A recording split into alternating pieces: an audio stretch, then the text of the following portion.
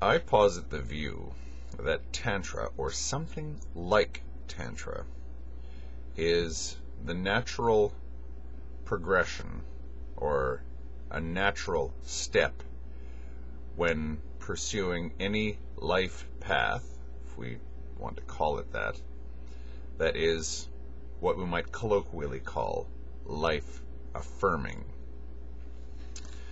Um, or at least a life affirming philosophy that does not require religion. Hmm.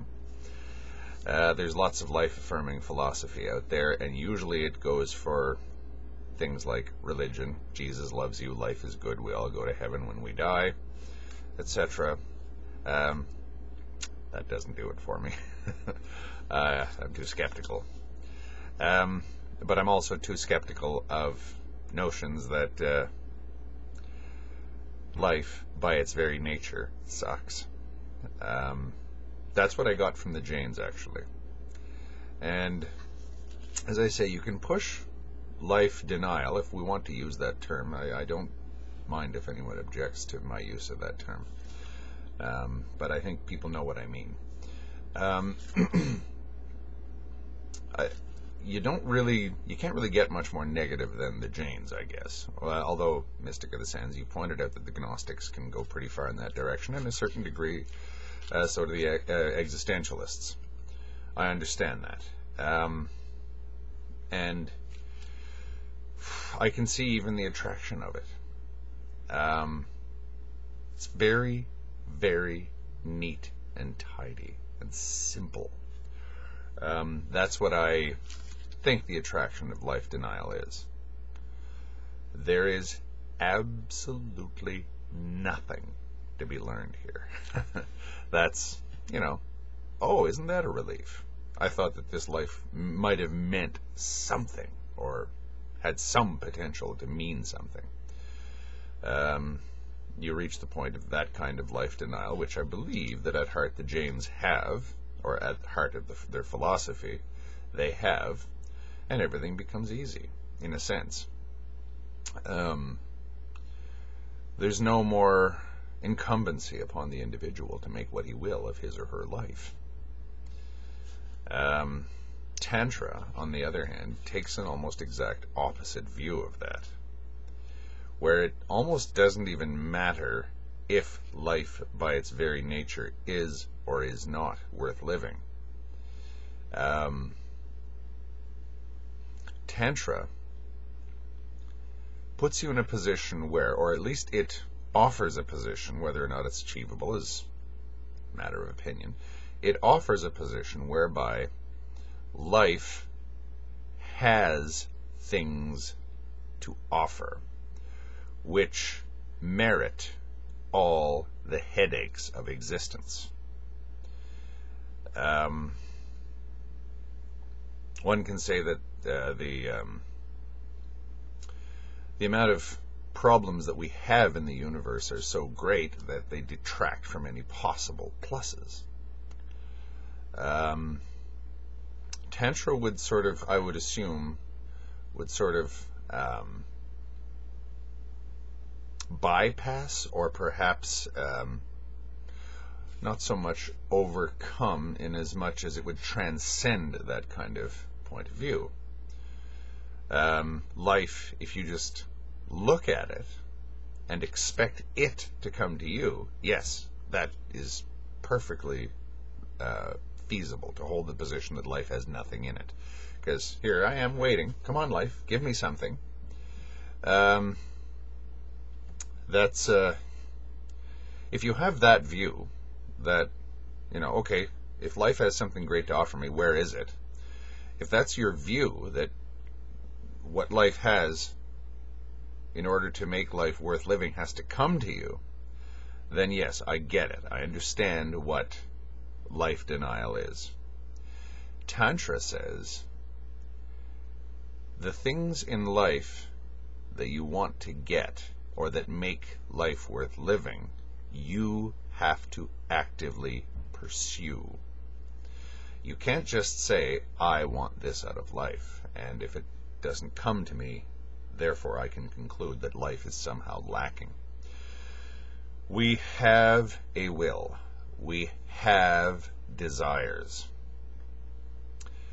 We must actively seek that which we desire, or we must actively get into the idea that some kind of effort of the will is required to get what we want out of this life. Um, that sounds a bit contradictory considering the amount of willpower that is required to, say, be a particularly observant Jain, but I find the Jain version of willpower is more a version of how to avoid bad things. Let's say that you take Jainism to its ultimate extent and you want to practice sallekhana, you want to engage in that, you want to starve yourself to death deliberately. That requires near superhuman willpower. Why are you doing that, though? To avoid another existence. You're doing something that requires almost superhuman willpower to avoid something that's even worse than the possibility of fasting oneself to death. Um, Tantra says, go get on that tiger. Go deal with the horrors of existence. Embrace them and love them. And you'll be surprised what you might find. This kind of sounds Nietzschean, but I don't. I'm not quite sure that I would agree with that. Um, Tantra actually is, if you ask me, a very personal thing. It doesn't require you to go out to act in the world, and in fact, it kind of advises against it in a way. Um, simply because it's so esoteric, it's so peculiar looking to anyone else that going out and trying to be a tantric publicly, as it were, is whew, that's dodgy. Having said that, our society has all kinds of ways in which we can act tantrically publicly. In other words, you go to a concert and you commune with the band that's playing on the stage, and in a sense, you are doing something tantric. Uh, you listen to a piece of music or whatever. Tantra, in my opinion, has it down to a science.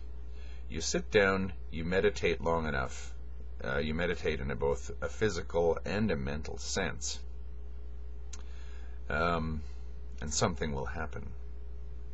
You will gain something in the process.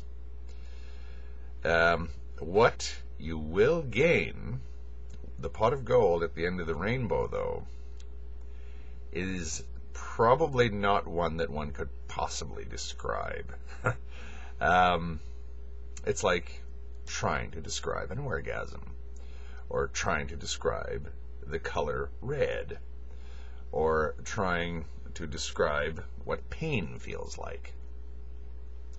You can't describe things ultimately. If you look at somebody who has a particularly life denying point of view, their language is full of intuitive um, references to how horrible life is. Uh, and yet, the very same people will then say, um,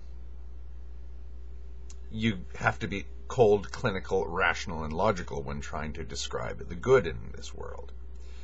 Um, well, that's all very well, but it's a little bit inconsistent. Now, again, there's nothing wrong with inconsistency. But when you're trying to build a case for something, when you're trying to build uh, a point of view, inconsistency can be counterproductive to what you're attempting to do. I always say, look, I'm a human being. Human beings are contradictory. Okay, that's fine. It doesn't mean that I have the right to lie to myself or that I should lie to myself. There's a difference between sincerely believing two contradictory things and not sincerely believing in one of two contradictory things. um, that which Tantra offers you is, in my opinion, the good.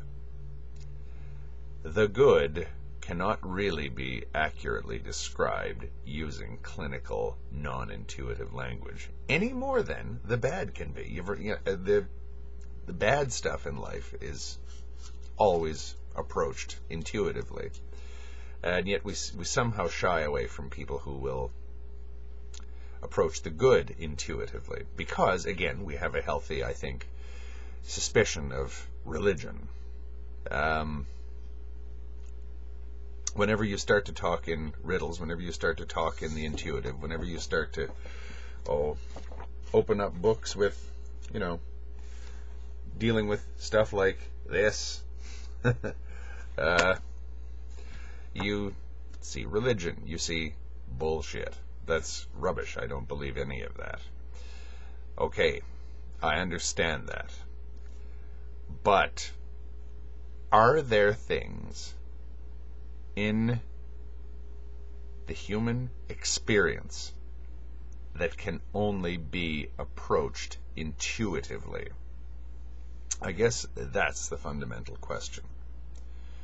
Um, is there a direct, rational, logical progression that will take you from the bad to the good, completely leaving the intuitive out of it? I don't think so. I would say that um, the only way to deal with either the good or the bad is intuitively. And for better or for worse, Tantra takes you down that path. But only in the same way as those who would deny existence or the value of existence or the value of living this life also use the intuitive.